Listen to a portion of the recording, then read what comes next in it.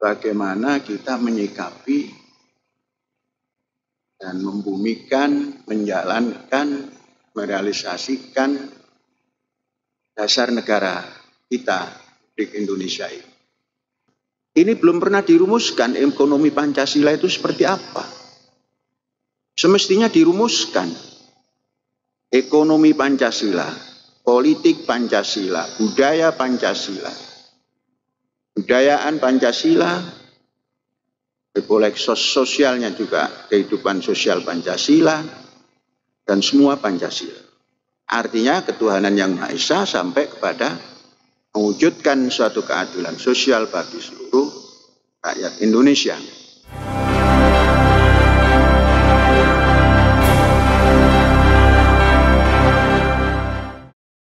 Dalam kesempatan ini saya ingin menyampaikan bagaimana kita menyikapi dan membumikan, menjalankan, merealisasikan dasar negara kita di Indonesia ini. Di dalam pekan-pekan ini saya membaca bahwa Wakil Presiden itu mempunyai keinginan untuk menyosialisasikan ekonomi syariah dalam bentuk kurikulum dari SD sampai perguruan tinggi. Kemudian dari bacaan itu, dari tulisan beliau itu, saya berpikir Mengapa tidak mencari nomenklatur tentang ekonomi Indonesia ini sesuai dengan dasarnya? Saudara-saudara, negara komunis akan menghasilkan ekonomi komunis. yakni ekonomi yang berbasis komunis. Contoh Cina. Cina dengan inovasinya, politik ekonominya ditentukan sistem komunis, namun ah, politik ekonominya adalah berdasar komunis, namun sistemnya mengikuti perkembangan zaman. Sehingga Cina bisa melejit secepatnya tanpa meninggalkan komunisnya.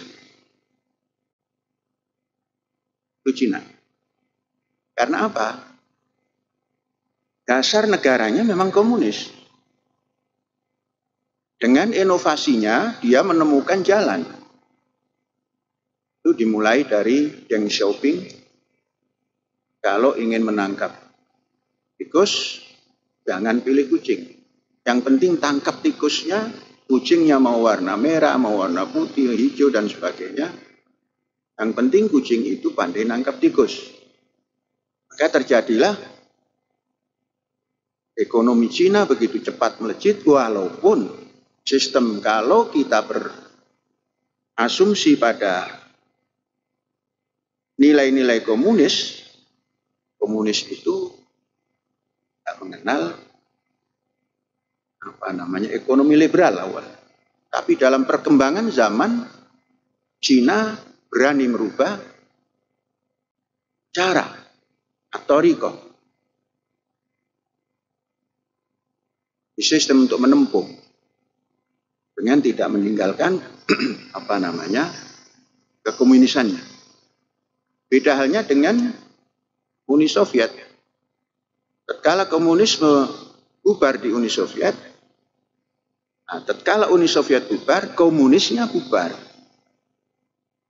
Komunisnya tidak berjalan menjadi sebuah negara yang dasarnya tidak nampak, tidak jelas. Entah dia liberal, entah dia komunis, maka ekonominya pun tidak seperti Cina. Maka tidak secepat Cina pertumbuhan ekonominya. Kita tengok negara-negara seperti Eropa dan Amerika. Amerika karena memang negara yang liberal, maka ekonominya juga ekonomi liberal. Yang penting semua rakyat boleh mengejar segala macam untuk menuju mencapai kesejahteraan. Dengan cara apa pun boleh dikerjakan. Negara-negara Eropa juga seperti itu. Indonesia punya dasar yang dinamakan Pancasila. Kemudian mestinya akan pantas keluar dari dasar Pancasila itu nomenklatur ekonominya juga ekonomi Pancasila. Ini belum pernah dirumuskan ekonomi Pancasila itu seperti apa. Semestinya dirumuskan ekonomi Pancasila, politik Pancasila, budaya Pancasila, budayaan Pancasila, boleh sosialnya juga kehidupan sosial Pancasila, dan semua Pancasila. Artinya ketuhanan yang Maha Esa sampai kepada mewujudkan suatu keadilan sosial bagi seluruh rakyat Indonesia. Nah, tapi kalau kita ikuti daripada yang ditulis oleh yang disampaikan oleh wakil presiden beberapa hari yang lalu atau dalam pekan yang lalu itu akan membumikan sampai dalam bentuk kurikulum dan masuk ke sekolah yakni ekonomi syariah. Kita juga belum tahu ekonomi syariah itu modelnya seperti apa. Kalau modelnya seperti yang berjalan dalam fikih, nah ini juga mesti harus ada bahan perubahan dan sebagainya. Namun itu akan menjadi keluar daripada nomenklatur ekonomi Pancasila. Bagaimana kita berpikir dan kita menerjemahkan ekonomi Pancasila itu? Apakah kita berani? Ekonomi Pancasila itu ya dasar ketuhanan dan terus seperti beraninya Deng Xiaoping untuk mencapai ekonomi yang maju tidak meninggalkan komunisme tapi dia masuk ke dalam lingkaran kehidupan dunia yang maju seperti ini. Kalau di Indonesia menerjemahkan dan mengimplementasikan, membumikan, mempraktekkan ekonomi Pancasila, tentunya nanti ekonomi itu didasarkan pada ketuhanan. Ajaran ketuhanan ini, saudara-saudara, sangat luas. Maka nanti disimpulkanlah dari mana itu. Ekonomi kalau ditilik daripada ketuhanan yang Maha Esa, tentunya blueprintnya adalah berbagai macam kitab suci, bagaimana mengatur ekonomi. Kemudian kalau kita masuk pada kemanusiaan yang adil dan beradab, bagaimana kemampuan manusia Indonesia menerjemahkan ajaran ilahi tentang ekonomi yang kemudian disesuaikan dengan perkembangan zaman. Karena ajaran ilahi itu untuk semua, dan ajaran ilahi itu sampai kapan pun sama untuk manusia yang hidup di muka bumi ini dari generasi awal sampai generasi kapan pun. Kemudian ekonomi yang bisa mempersatukan bangsa. Ekonomi yang didasari pada permusyawaratan, artinya satu pengertian bersama yang diwujudkan dalam permusyawaratan, baik itu nilai politik, budaya, dan sebagainya. Yang semuanya arahnya mencari perwujudan keadilan sosial. Nah, saudara-saudara, maka mari kita mendalami ini. Bagaimana pandangan bangsa Indonesia tentang ekonomi Pancasila. Kalau kita sampai kepada filosofi ekonomi Pancasila ini, maka kita akan menemukan Ekonomi Pancasila itu berdasar undang-undang dasar yang ada. Artinya semua kekayaan bumi, air, dan segalanya adalah dikuasai negara untuk kepentingan sebesar-besar kemaslahatan hidup rakyat Indonesia. Itu global daripada bentuk ekonomi Indonesia itu seperti itu. Nah, kalau kita sesuaikan dengan ajaran ilahi, mal malullah. Artinya kekayaan harta itu sesungguhnya milik ilahi. Kemudian diimplementasikan dalam kehidupan untuk kesejahteraan. Dari sini itu ajaran ilahi. Kemudian kita sesuaikan dengan kemampuan bangsa yang semestinya mempunyai kemanusiaan yang adil dan beradab. Ada orang mengatakan bahwa kemanusiaan yang adil dan beradab itu putus daripada langit atau putus dari urusan ketuhanan yang Maha. Mari kita terjemahkan kemanusiaan yang adil dan beradab itu manusia yang mempunyai keadilan dengan bimbingan ilahi. Tentunya dengan apa yang diturunkan oleh kitab uh, dari kitab suci. Kemudian beradab. Jadi tidak mungkin kalau ketuhanan yang berperadaban itu tidak mungkin, tapi kemanusiaan yang adil beradab bersumber daripada nilai-nilai ajaran ilahi. Mungkin itu yang dikendaki daripada ekonomi Pancasila untuk kesejahteraan bangsa Indonesia, untuk keadilan sosial bangsa Indonesia. Kemudian dengan secara mufakat, barangkali itu namanya kerjasama berskala besar Kerjasama berskala besar itu bentuk daripada ekonomi Pancasila, kalau kita terjemahkan seperti itu. Dan bentuknya kalau seperti itu, nilainya kooperasi. Karena secara kekeluargaan, keluargaan itu ya kooperasi.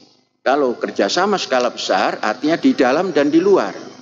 Kita bisa kerjasama dengan orang luar dan bisa kerjasama dengan bangsa sendiri di dalam menjalankan ekonomi.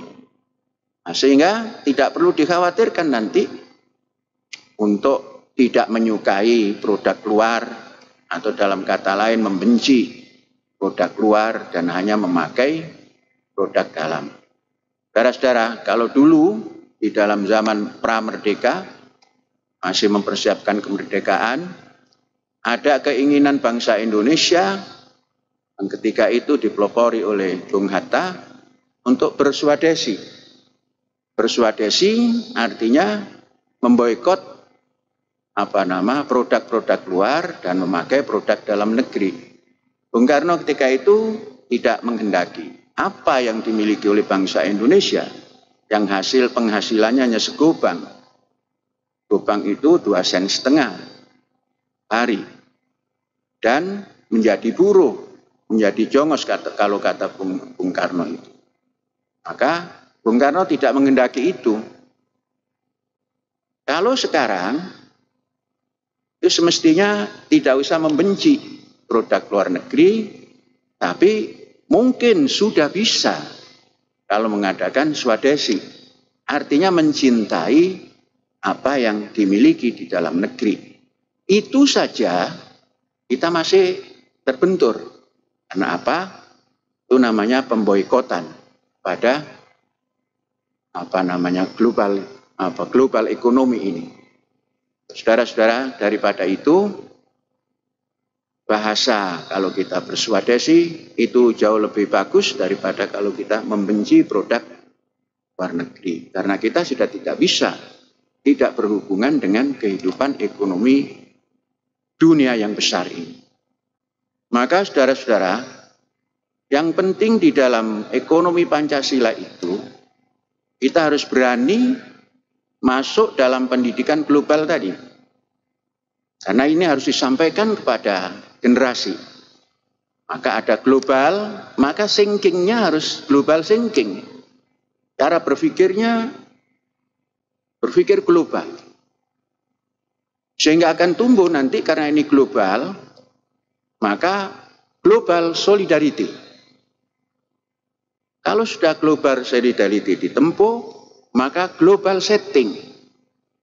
Ekonomi pun mestinya harus begitu. Dan ini bentuk ekonomi Pancasila. Dan inilah yang dinamakan kerjasama berskala besar. Saudara-saudara sekalian, maka awal-awal di dalam kita memasuki globalisasi, saya selalu menyampaikan, mari kita mengadakan kesetaraan. Apa itu dulu yang kita sampaikan awal-awal kehidupan global itu? Satu kesetaraan dalam bidang ideologi, dalam bidang memahami filosofi negara, dalam bidang kalau bahasa Arabnya itu akidah. Maka kita sampaikan sawasiyah bil akidah. Kalau kita sudah memiliki kesamaan memahami filosofi bangsa kita, memahami negara kita mempunyai filosofi, memahami bahwa negara kita memiliki nilai-nilai dasar yang kita anggap universal dan global, maka kita tumbuhkan nanti sawasiyah bitafkir. Maka kalau sudah memiliki kesetaraan dalam bidang akidah atau dalam bidang ideologi atau dalam bidang memahami apa nama filosofi negara dan dasar negara, maka tercipta lagi nanti kesetaraan yang lain. Sawasiyah bitafkir. Kesetaraan di dalam membangun tafkir, pola fikir, pola pikir bernegara, pola pikir berekonomi, pola pikir berpolitik, dan lain sebagainya. Dari situ nanti, karena kita akan masuk ke dalam situasi global atau kehidupan global, maka sawasiyah fil maharo. Sawasiyah fil maharo. Ia mempunyai kesetaraan dalam kemampuan apa namanya kemampuan apa maharoh itu. Ya bisa profesi, bisa keilmuan, bisa kepintaran, bisa kecerdasan. Itu yang ditempuh. Diawali daripada kesetaraan yang tiga tadi, maka dalam pendidikan kita masukkan tiga cara untuk mencapai global, yaitu apa namanya global thinking, global. Yang kedua solidarity, yang ketiga global setting. Settingnya sudah harus global. Artinya tatanannya harus global. Di dalam negara yang berdasar Pancasila ini tidak boleh eksklusif. Baru dalam pendidikan yang seperti itu dikembangkan lagi seperti apa supaya mencapai cita-cita itu? Maka yang pertama sehat. Kemudian yang kedua cerdas. Yang ketiga manusiawi. Nah, kumpulan daripada ini semuanya maka ini adalah membentuk kehidupan yang memahami bagaimana ekonomi Pancasila di Indonesia ini. Kalau kita berbicara ekonomi Pancasila, tidak usah khawatir bahwa kita akan keluar dari ajaran ilahi. Karena apa? Yang mengilhami semua sila-sila yang lain adalah ajaran ilahi. Kalau ada yang mengatakan ajaran apa namanya ketuhanan yang Maha Esa itu berdiri sendiri dan yang lain berdiri sendiri, ya itu tidak apa-apa. Itu mereka mengatakan begitu. Tapi kita harus memahami dengan kecerdasan yang diberikan pada kita sampai kepada bahwa seluruh kegiatan itu didasari oleh ketuhanan yang Maha Esa.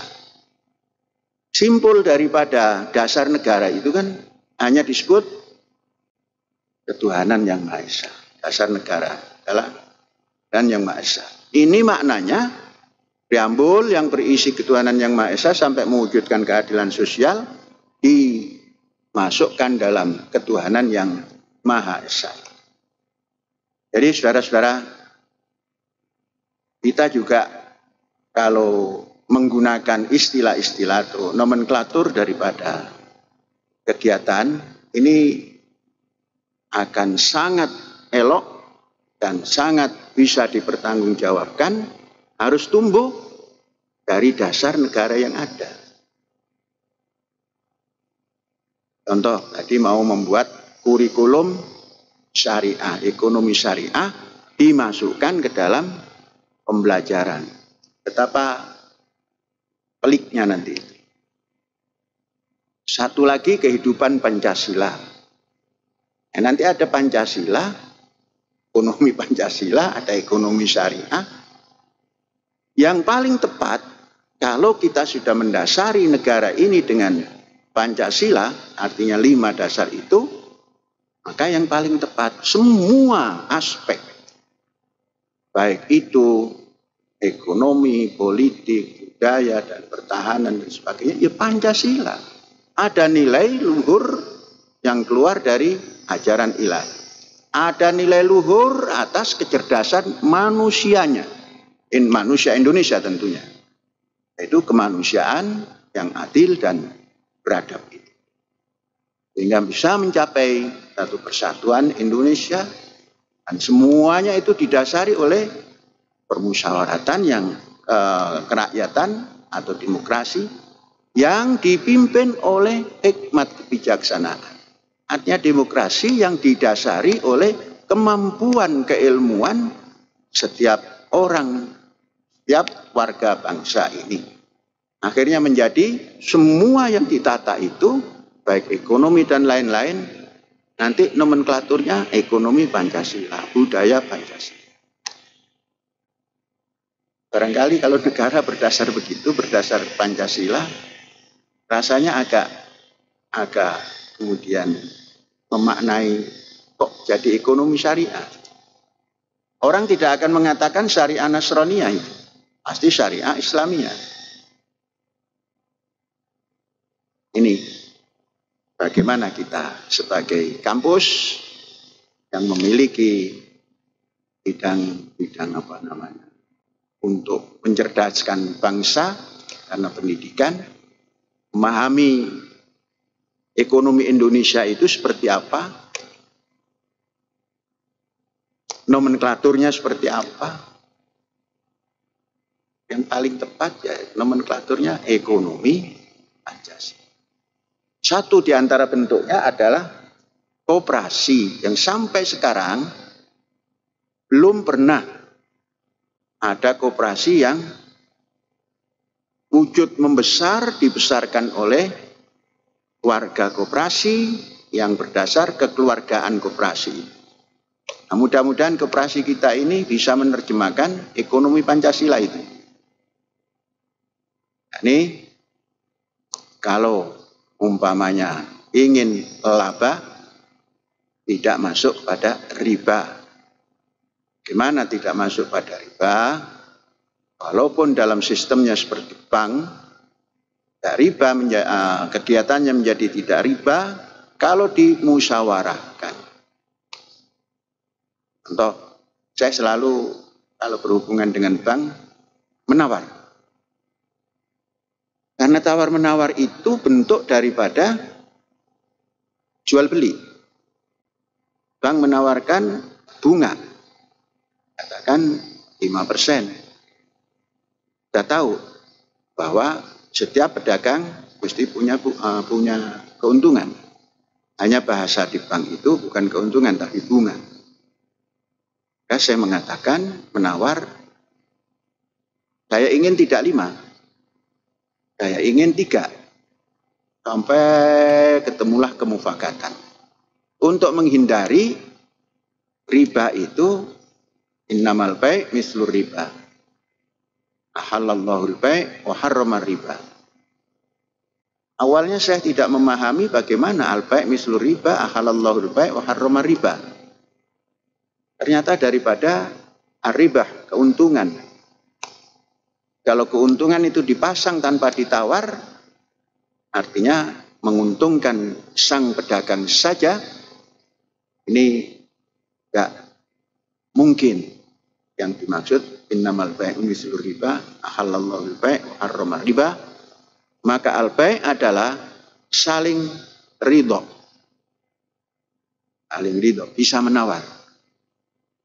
Sering orang lain menerima bank apa namanya bunga 5%, saya sering menawar sehingga mendapat tiga, kadang-kadang gas perapat, kadang-kadang tiga, kadang-kadang dua setengah.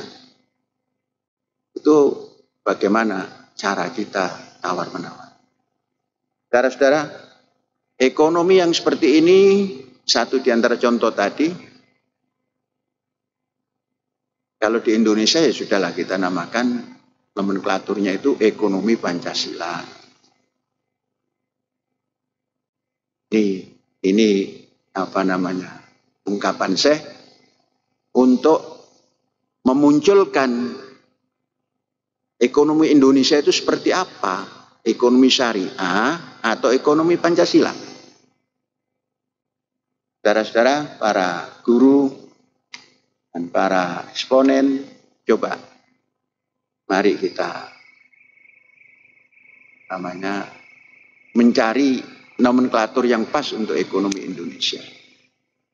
Mengapa baru mencari? Memang belum pernah ditentukan, belum pernah dibicarakan. Dulu zaman Pak Harto, ya semua Pancasila, tapi juga belum diberikan tunjuk teknisnya itu. Juknisnya belum wujud.